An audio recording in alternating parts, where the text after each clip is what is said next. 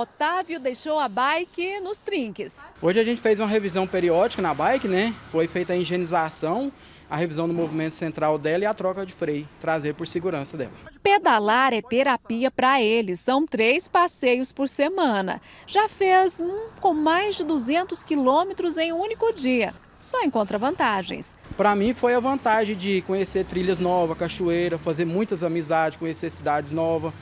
É, pedalar é algo muito bom. O Otávio era daqueles que não gostava de nenhum tipo de exercício físico. Sedentário, estava sem disposição, até que conheceu a bike. Isso foi há cinco anos. Hoje já eliminou mais de 20 quilos e nem precisou de muita dieta. A saúde e a animação agora são bem diferentes. Sem privar muita coisa da alimentação, inclusive tem vezes que come até mais do que o normal e me ajudou a perder um peso legal já, a bike.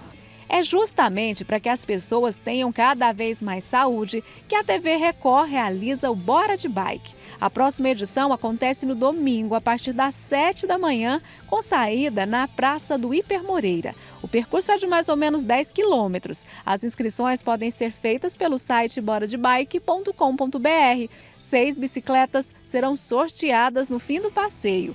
Os parceiros são a Unimed, Prefeitura de Goiânia e a Fernando Bicicletas. E por falar nelas, vamos às dicas para quem quer começar no esporte. As bikes estão cada vez mais tecnológicas. Para quem pode investir, tem a opção das de fibra de carbono com câmbios elétricos via Bluetooth. O ciclista, para ter uma bike dessa, não precisa ser um atleta, né? Qualquer pessoa que já pedala, tem uma experiência no pedal e gosta de pedalar, e tem condição de comprar, ele vai comprar uma bike dessa. É uma bike toda em fibra de carbono, né? Suspensão inteligente. A suspensão não funciona de cima para baixo, ela funciona de baixo para cima. Então ela vai ler o terreno, aquelas costelas de vacas, ela vai copiar o terreno, funcionar sempre de baixo para cima. Na hora de descer a bicicleta, você está descendo uma trilha lá, esse canote está alto, você apertou no comando aqui, ó, e ele vai baixar sozinho o canote para cá, para você não ficar tão íngreme para frente, porque a tendência de cair é maior.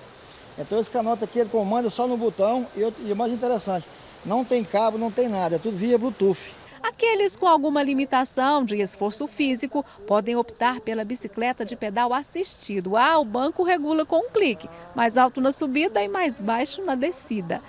Ao você pedalar, ela entende que você, ela capta seu, seu esforço e ela vai te ajudar. Aí ela tem aqui em média três estágios, que é o lento, aí tem o médio e tem o ride, que é o brabo, a subida mais, mais alta, né?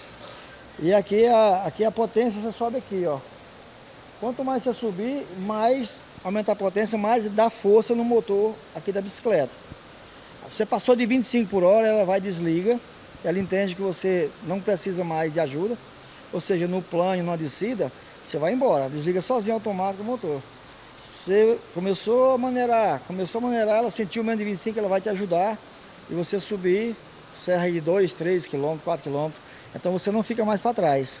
Falando de uma versão mais econômica, a sugestão é adiar o 29, quadro em alumínio, freio a disco e amortecedor. Mas é claro que no Bora de Bike a única recomendação é a segurança. A bicicleta ideal é a que a pessoa tiver. O que a gente recomenda é que você faça uma revisão da sua bike antes do dia.